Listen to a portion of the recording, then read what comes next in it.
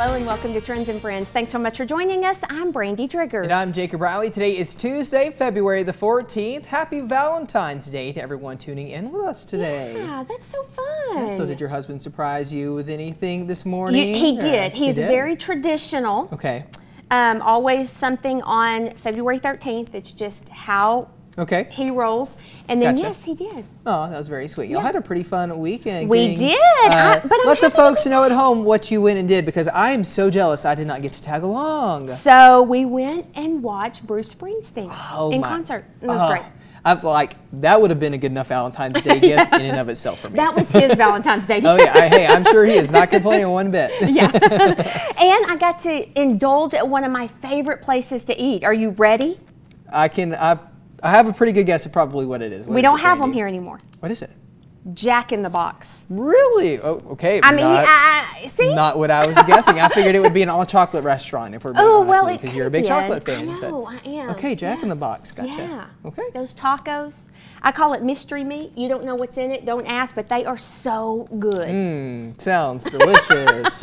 you well, sold me. did you? Uh, so, uh, did you get your Valentine's Day shopping done? I did. Yes, I did. I have, you know, I have three special ladies to buy for my two daughters and my wife, but managed to knock it all out. But Of course. yeah. Yeah. Yeah. Well, fun. It well, we are going to keep on celebrating today yeah. because today's show is all about sharing the love. Oh, it sure is. And there are so many ways. You know, we have so many local nonprofits in Lubbock, the South Mm-hmm. Plains, and just it makes it really easy for us to get involved and do some great things because they're It doing does. great things. It does. it, You know, in the South Plains, a very good way to give back to our community, and we love to see those funds, especially stay local here as well too.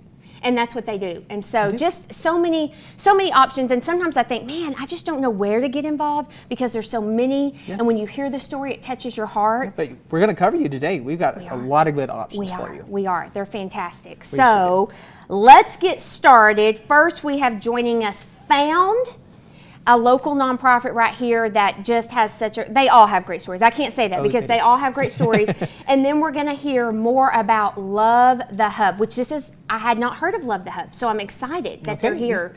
I'm probably not the only one. I haven't heard of them either, so very happy they're joining Mm-hmm. Yeah. us today. Plus, we've got Open Door here sharing their ministry, and another one, Widows Speak, will be giving us their story on sharing the love as well. So Mm-hmm. Yeah. a lot of good, four good nonprofits coming up today. is, it is. So very excited about that. Now, speaking of love, I don't mind the wind, but I do not love the dirt. Well, you know what's correlating with that, Brandy, is you came back today.